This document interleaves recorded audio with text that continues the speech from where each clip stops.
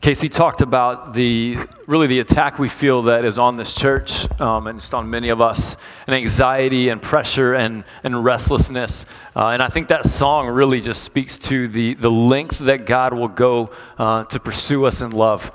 Um, and that he is fighting to dispel the lies that oftentimes fill our minds uh, and cause us to believe things that aren't true of the Lord. Uh, and so uh, I'm, I'm really grateful for the truth of Scripture and that God fights for us and doesn't leave us on our own um, to fight for ourselves, but that He, he actively stands and fights for us. Um, one of my favorite verses that, uh, that I've just really grown to love is Romans 15, verse 7. Man, and my apologies for this. They, they tell me it's not the microphone, it's the it's a user error. So I'm, I'm sorry for the, the poppiness of it. Uh, maybe one day I'll figure that out. But Romans 15, verse 7, um, by far one of my favorite verses says, Therefore, welcome one another as Christ has welcomed you for the glory of God. Therefore, welcome one another as Christ has welcomed you for the glory of God. If, if you're here today and you're a Christian, you've put your faith in Christ and you follow Him, then you have been welcomed into the family of God. You once were an outsider, and Jesus has welcomed you into his family, into a relationship with him. And my hope and my prayer today for you is that you'll be reminded by the Spirit that you were an outsider and that Christ has done everything to bring you in. And then if you're, if you're not a Christian today, the invitation is given that there is an open seat at the table for you, and Jesus says, Come on. Come sit and eat and drink with me. And my prayer and my hope for you today is that you will hear that invitation from Jesus and that you will receive the invitation to follow him and to have a relationship uh, with Jesus Christ.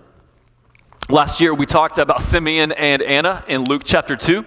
They had been waiting and waiting and waiting, hundreds and hundreds of years, that the promised Messiah would come, and they were waiting and watching. They were actively positioning themselves to receive the promise of God. So often we miss out on what God has to say for us because we don't actively position ourselves to hear from Him. Like we're, great at positioning ourselves to hear and receive other things and other people's voices and other forms of media and, and whatever, but we, we just struggle to position ourselves to hear from God and to wait for Him. But Simeon and Anna, they were, they were waiting, they were looking for something better. And in an instant, they found everything they were looking for. And what I love about their story is it wasn't in a change of circumstances. So often, what we think will be better is a change of circumstances. If just this changes, or this person loves me, or I get this job, or this thing works out, then I will be happy. But the problem is, it's not a change of circumstances that will satisfy us. Nothing else can carry the weight of our hearts. You see, what changed was that Jesus entered the scene. And they knew that's what they were looking for. Jesus, Emmanuel, God with us shows up and changes everything for them. The, uh, the story of the Bible, from Genesis to Revelation, is about Jesus. In the Old Testament, we see it looking forward, pointing to Jesus, the promise of the coming Messiah. And then in the, in the Gospels, Matthew, Mark, Luke, and John, it's the story, it's the life of Jesus. And then Acts through Revelation is talking about how we live in response to who Jesus is. So everything in the Bible is about Jesus, pointing to him, telling of him, or showing us how to live in response to Jesus. Jesus changes everything. Everything. Our, our, our, entire culture, our entire world, whether, whether you follow Jesus or not, you cannot deny that Jesus has changed everything. Our calendar system has flipped, right?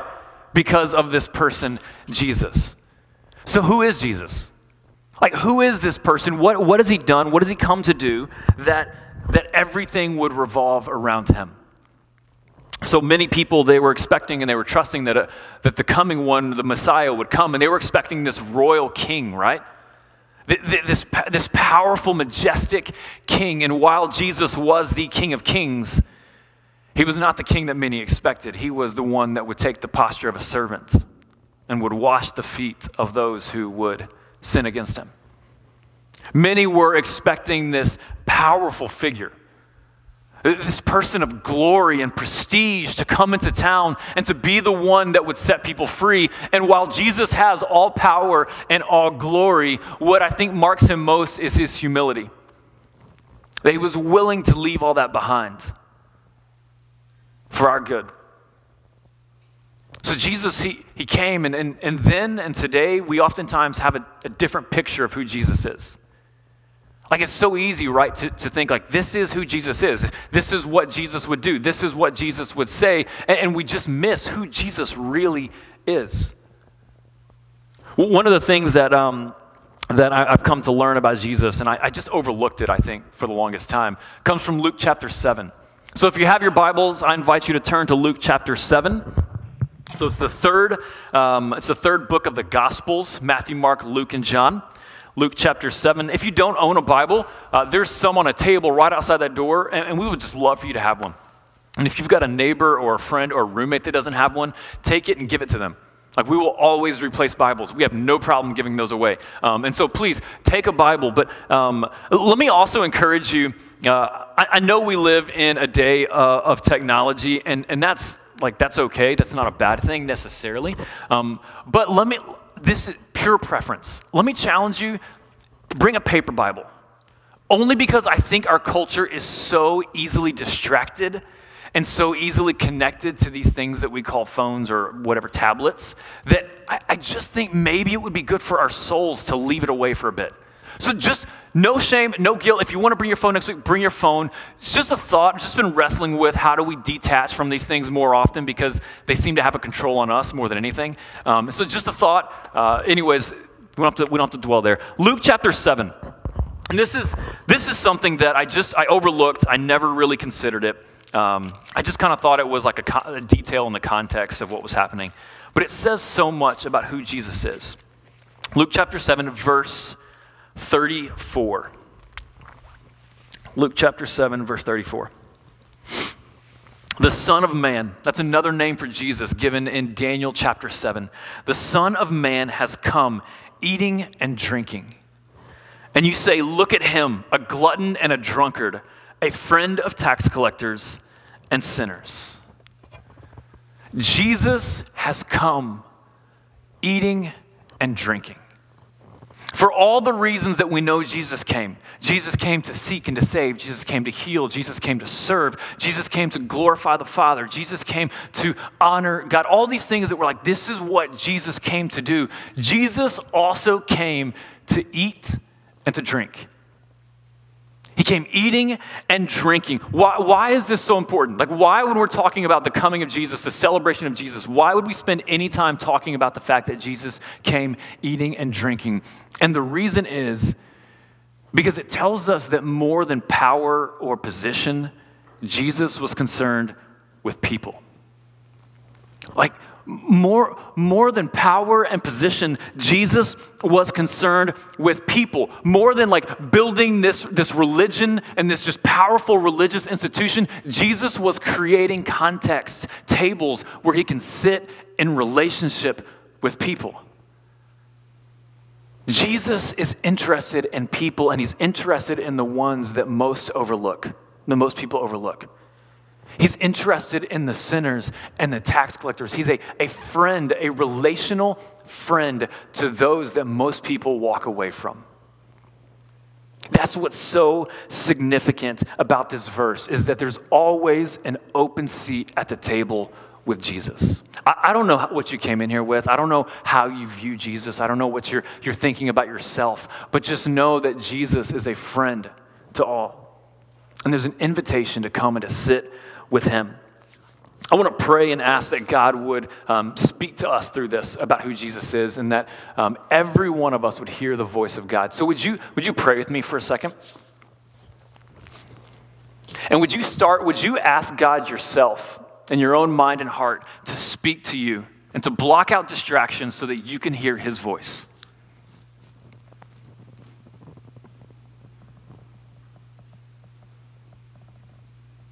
And then, if you would be so kind, would you ask God to speak through me?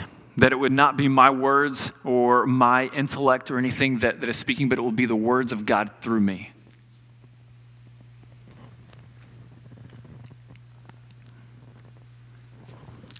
God, if we just want to get together and read a book and hear people talk, we can do that anywhere at any time.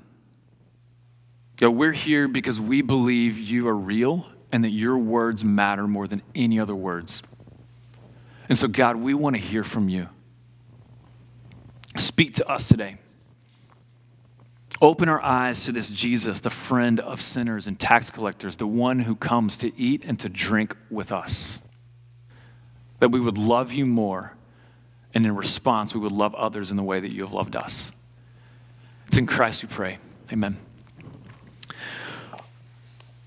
One of the scariest places, who, who likes scary movies or like haunted houses type thing? I'm just curious. That's just a, like a personality. Okay, uh, cool. All right, we'll talk later. Like, it's I just wonder if there's something, I don't know. Um, I'm not a, like, I don't like scary things. Uh, it's just not for me. But one of the scariest places I believe on the face of the planet, a middle school or a high school cafeteria.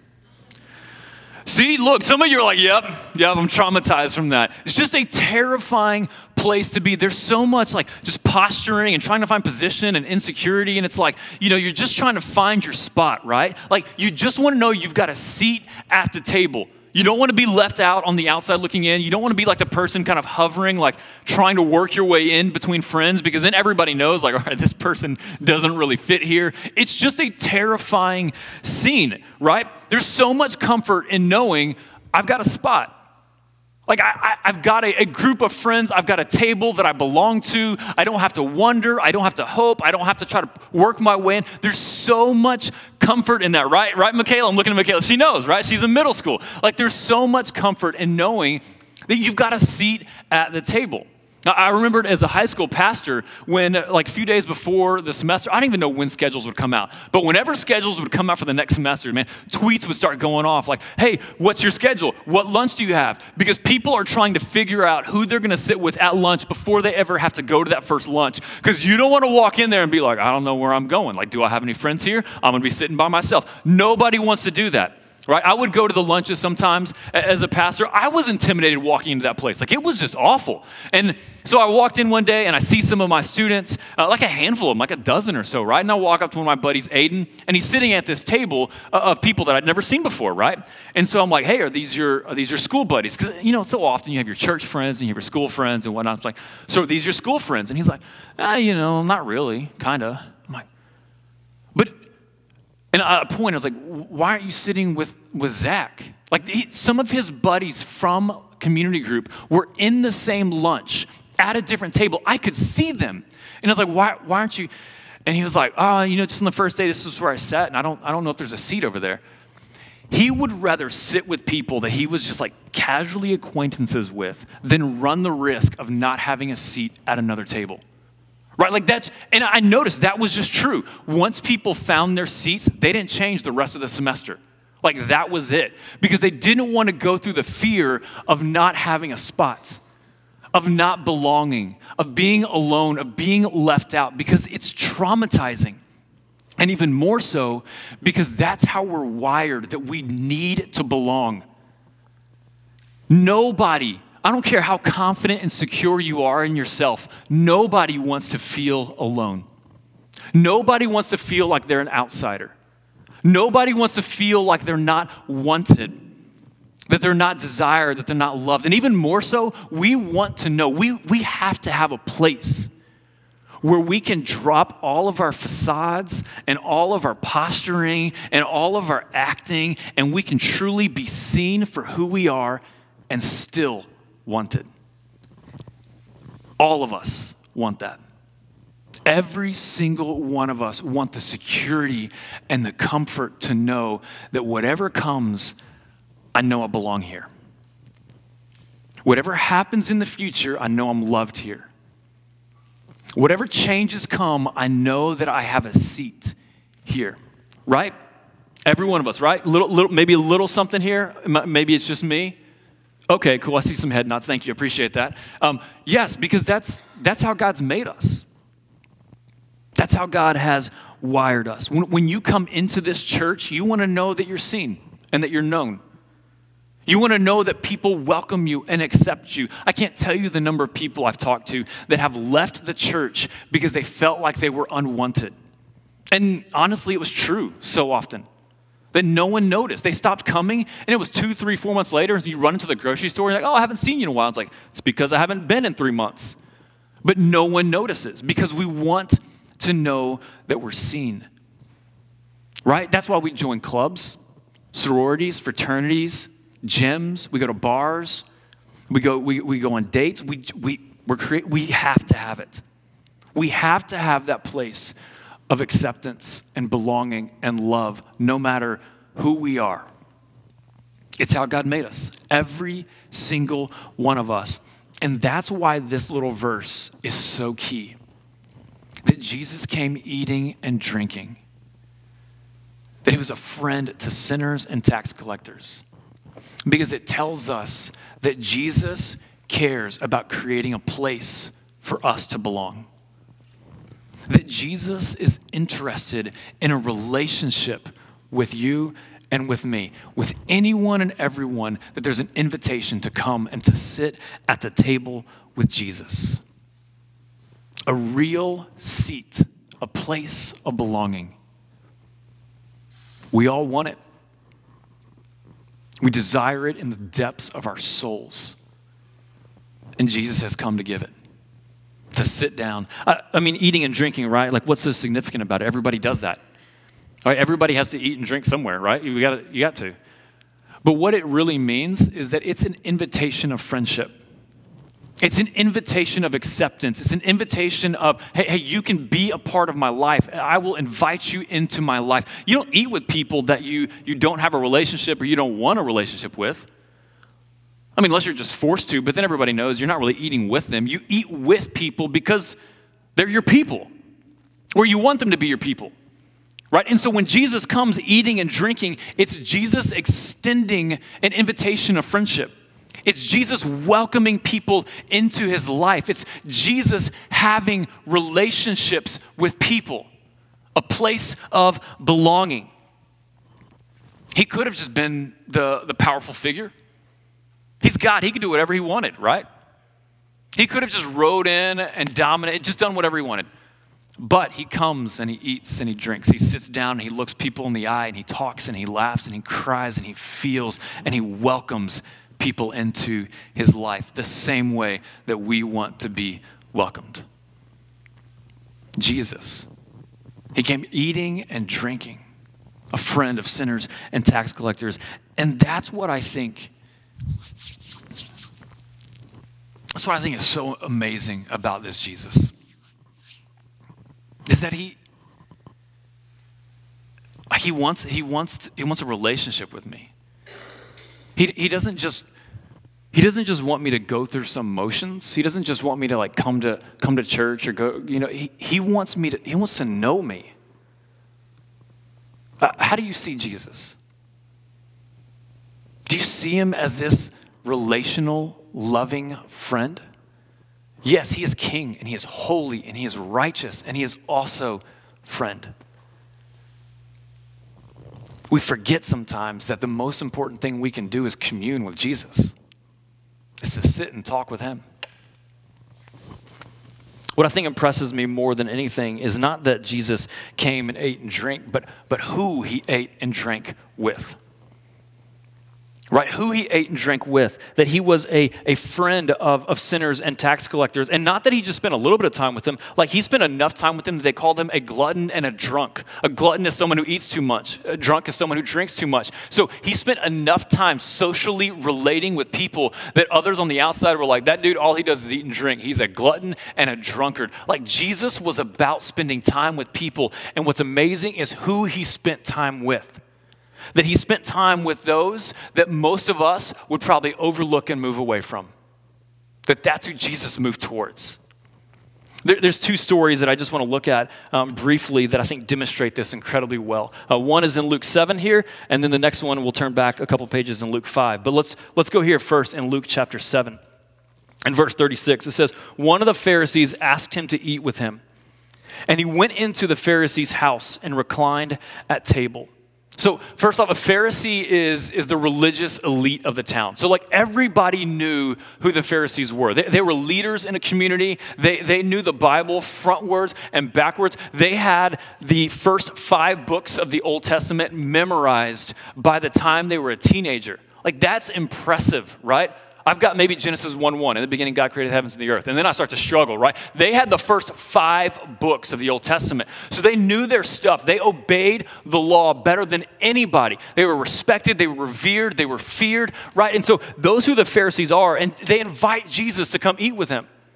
And Jesus like, okay, let's eat. Let's go hang out. And what's unique about the tables and the, the, way that it was set up in a first century home, especially a, a prominent, more well to do home, is that you oftentimes there was a table outside. So just imagine like a, a restaurant here with kind of the patio, and you can just like walk down the street and there's, you know, the patio right there. So that's what's happening. There's a table kind of in the courtyard area, and they didn't have chairs. They, they would kind of just lean in um, on an elbow, uh, and so their feet would kind of be behind them a little bit, and that's how they, they sat at a table. Seems incredibly uncomfortable to me, but I guess if that's all you knew, it'd be fine, right? So that's how, that's the scene. They're at this table, this outdoor courtyard, and they're just kind of leaning in like this with their feet behind them, eating, talking, you know, sharing life together. Verse 37, and behold, what we say about the word behold? It's a divine highlighter right? It boom, lock in here. Something significant is happening. Behold, a woman of the city who was a sinner. Translation, prostitute. A woman of the city who was a sinner, when she learned that he was reclining at table in the Pharisee's house, brought an alabaster flask of ointment.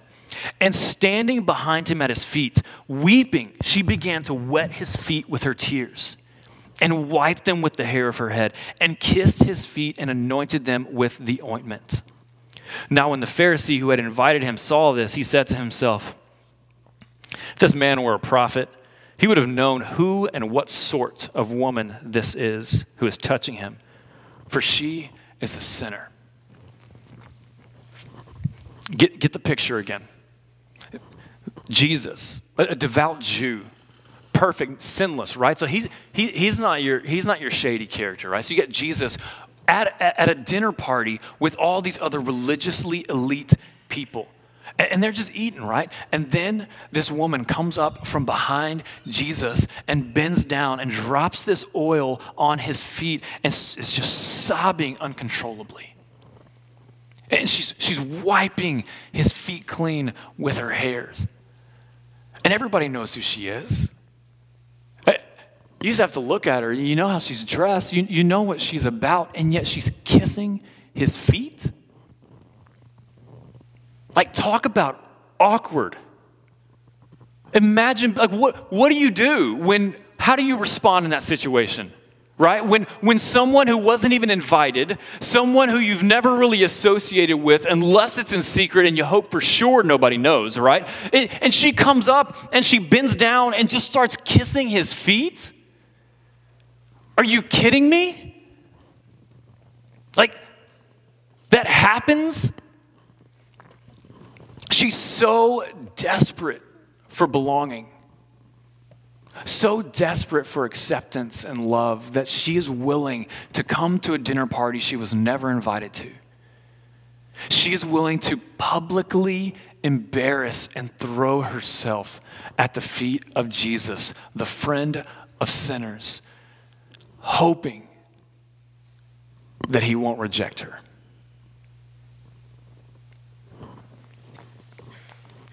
Most people around her, you can tell from even the, the attitude of Simon, they, they would just use her and lose her, right? Like, she didn't have value. She was just an object. I mean, Simon, he didn't even dignify. He just said who and what sort of woman this is. He, he just objectified her, but not Jesus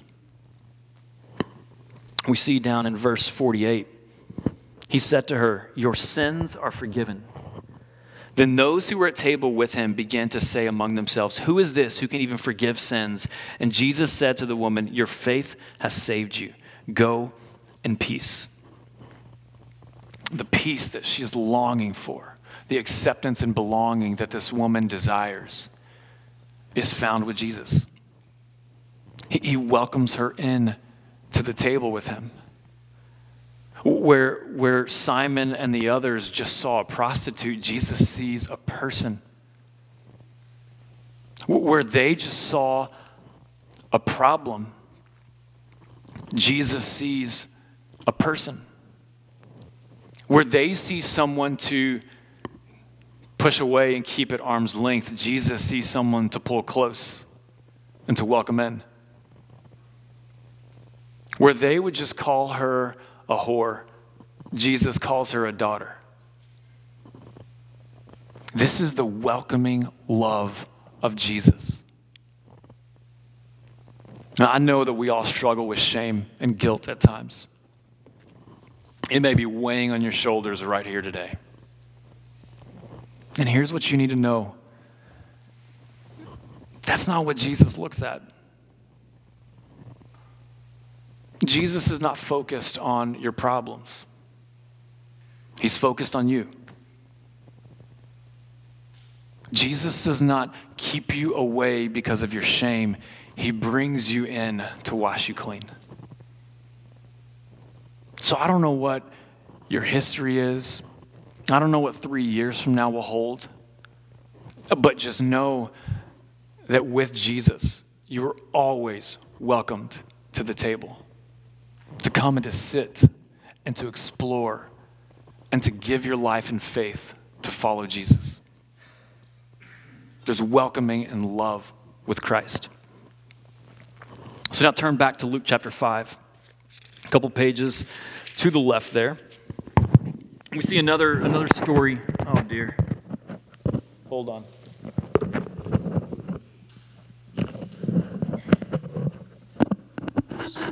Sucker in right there. All right, Luke chapter 5, verse 27. So Jesus is leaving uh, the miracle where he heals a paralytic, right? Where if you look back up into verse 26, he's healed someone who's never walked before in his life. And, and people are saying, We have seen extraordinary things today. And Jesus is like, Hold on, we're just about to get started. Let's go. Verse 27 After this, he went out and saw a tax collector named Levi sitting at the tax booth. And he said to him, Follow me. And leaving everything, he rose and followed him. So Jesus is walking along and he sees Levi, a tax collector. Now, what we have to know is historically, tax collectors in a Jewish culture were hated. Absolutely the lowest of low of low, scum of the earth, despised by other Jews. And here's why they betrayed their own people to make themselves rich. So Rome had taken over, and there was these, these few that said, hey, I, I'll follow suit, Rome. I'll go collect taxes for you. And with eyes wide open, they willingly stole from their neighbors and their family in order to get rich. So Rome says, Hey, we're going to tax this family $100. And Levi, the tax collector, walks up and he's like, Hey, your taxes are due. It's $200. And so they've got to pay the 200. 100 goes to Rome. Levi's pocketing the other 100. Then he goes to the next neighbor's house. Hey, your taxes are due 200 bucks. 100 bucks goes to Rome. $100 he, he taxes. And everybody knew that they were being stolen from, but they had the power of Rome backing them. And so they couldn't do anything. And so they were absolutely hated. Like everybody would have been okay with them never waking up one morning. It would have been all right. And so Jesus sees Levi and he heads towards him. And you can imagine as they're all watching this, they're like, okay, what's, what's Jesus gonna do? Like, is he gonna walk up there and just like smack him in the face and be like, shame on you? You're an insult to your family and your friends. Right? Like that's what that's what would be expected because they were so hated. Jesus' family was stolen from by these people. They were Jews, they had to pay taxes. So it would make sense if that's what Jesus did, but instead, Jesus walks towards Levi, intentionally pursues him, and says, Hey, dude, come be one of my boys. Like, leave all this, let's go. Let's hang out. He doesn't even address it. He doesn't even address his past sins. He just says, Hey, leave all that behind, let's go. Come be one of my guys. Come be one of my friends. The, the people that everyone else moved away from, Jesus intentionally walked towards. Y'all, that is earth shattering. The people that everybody else looked at and walked away from, Jesus went the other direction and moved towards them. He welcomes Levi in. He invites him into a relationship. And then it gets better, right? Verse 29 Levi made him a great feast in his house, and there was a large company of tax collectors. Like, so all of these shady, no good, it'd be great if you were dead people are all gathered together in one party. Levi's throwing this epic tax collector party. And there, others reclining at table with him. And the Pharisees and the scribes grumbled at his disciples, saying, Why do you eat and drink with tax collectors and sinners? Right? It's one thing if Jesus is going to go hang out with Levi, but now he's going to go hang out with all of them like they're friends or something? Like you're going to go hang out with these people that nobody likes like they're your buddies? Are you kidding me? And Jesus says, "Yep, that's where I'm going. Those are my people."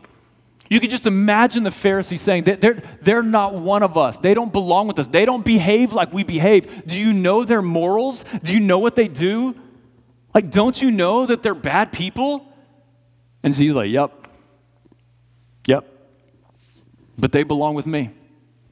They don't have to clean up their behavior first. I'm going to go to them and we're going to be friends.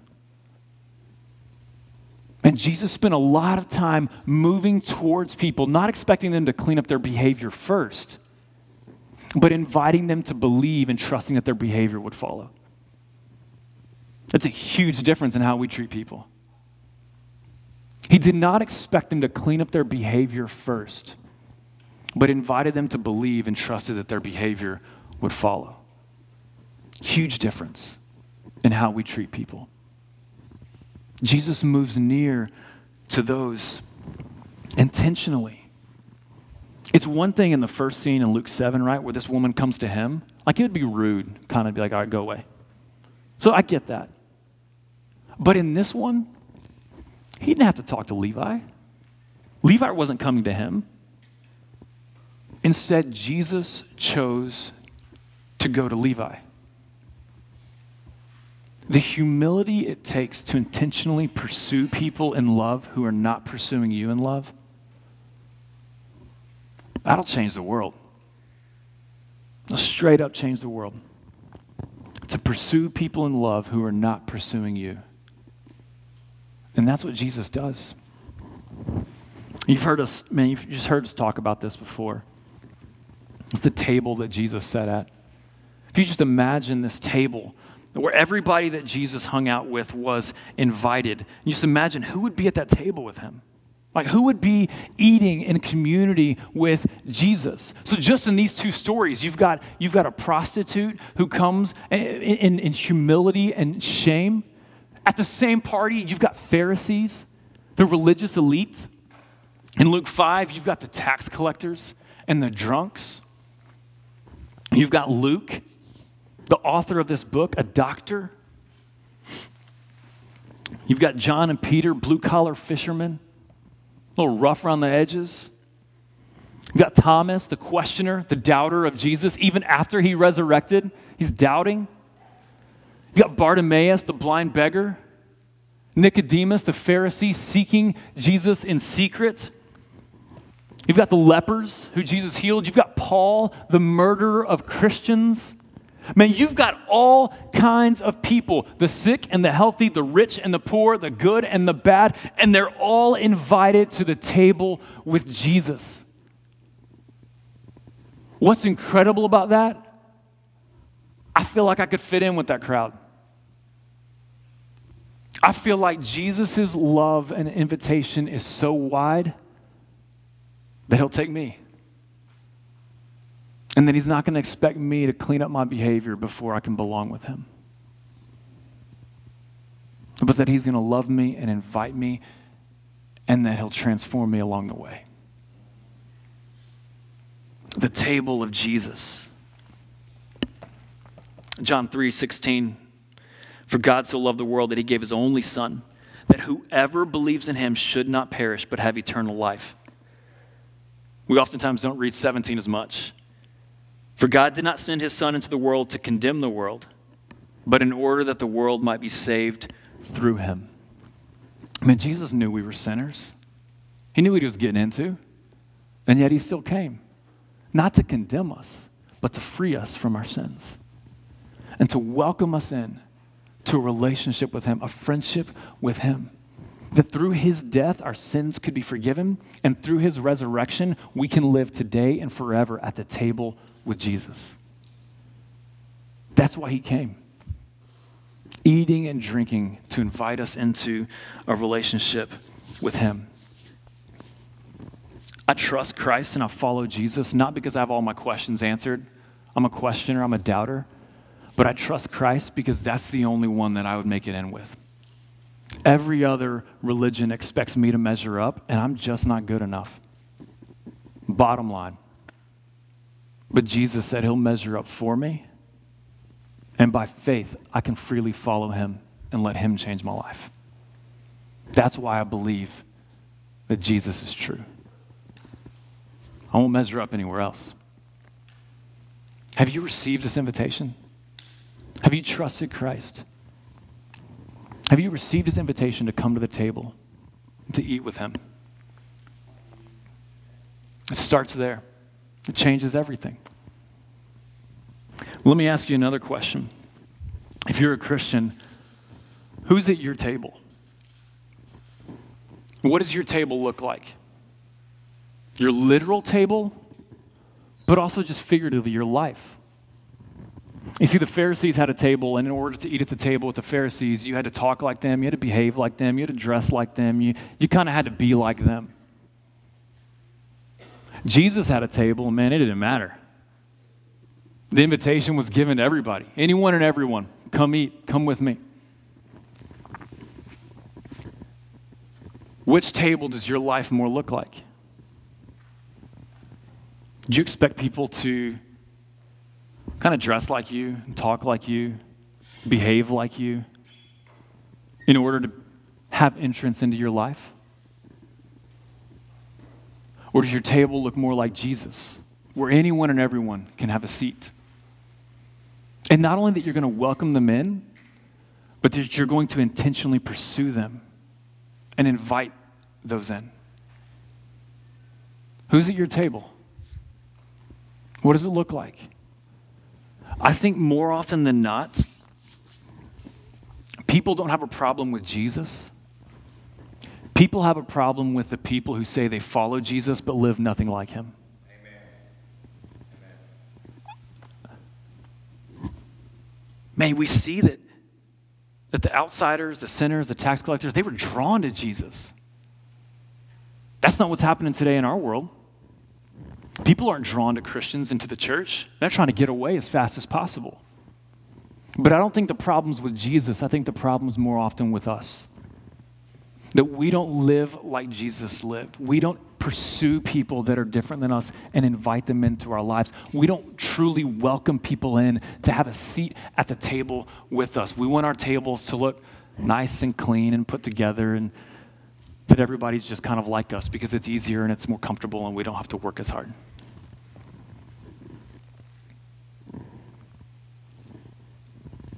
Who's at your table? Who's not at your table? Is there anybody you're intentionally leaving out? Is there anybody in your world that you, you intentionally try to keep at arm's length where Jesus would pull them close?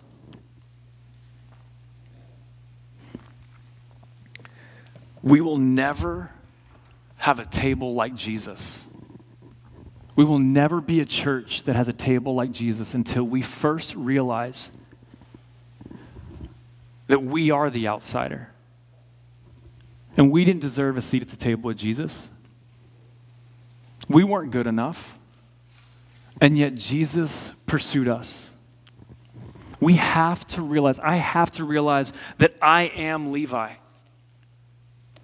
That we, we are the woman in Luke 7, and we don't deserve to be at his table, yet he welcomes us in.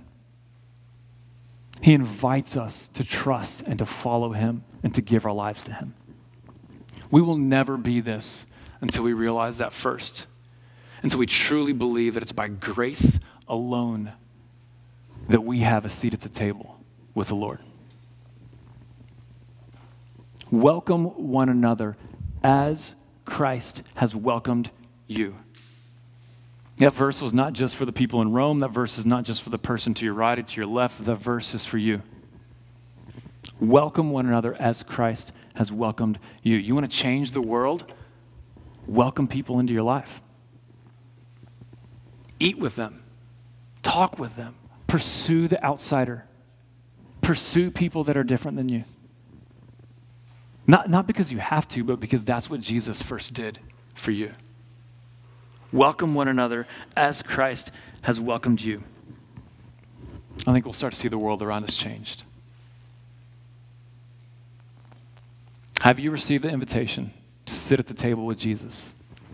And if you have, are you inviting and welcoming people in to your table the same way that Jesus did? Anyone and everyone's invited. Come, sit, eat, let's talk. Let's see who this Jesus is who can change our lives. Let's pray together.